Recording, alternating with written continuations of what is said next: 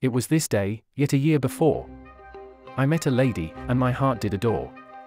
On All Hallows Eve, a party I went. I knew not a soul, at this costumed event. My eye spotted a maiden sitting alone.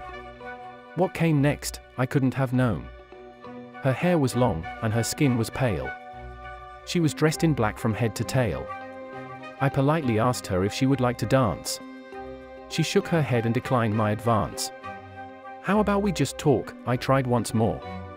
She got up and walked towards the door. She returned from the edge of the room. She asked if I'd ever ridden a broom. My lady, I have not, yet I'm willing to try. I darest not doubt you, are you sure this can fly? She mounted her broom, then gestured to me. I followed her instructions down to a T. My arms wrapped around her as I held on tight.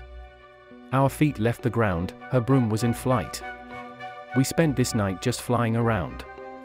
She showed me her favorite parts of this town.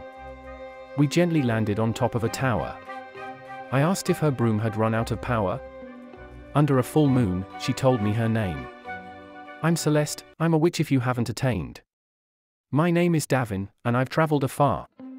Off my feet you've swept me, it's quite bizarre. As we took a break, I leaned in for a kiss. That's when my witch, she started to hiss. You're not afraid I'll turn you into a rat. I also have a secret, and beside her I sat. I took off my hat which revealed my ears. An elf I am, and of you I've no fears. I've fought dragons and demons and ogres and orcs. For your love I'd walk from LA to New York. We discovered we are both the last of our kind. And a witch met an elf, is this tale told in rhyme?